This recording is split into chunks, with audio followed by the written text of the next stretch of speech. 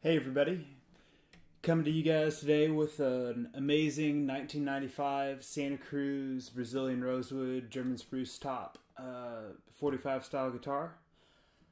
Uh, like I said, it's got a German spruce top, amazing, really straight Brazilian rosewood back and sides. It's phenomenal. You can't really get this stuff new anymore. And gold hardware, and like I said, Brazilian abalone inlays, I say Brazilian 45 style abalone inlays just everywhere. It's absolutely amazing.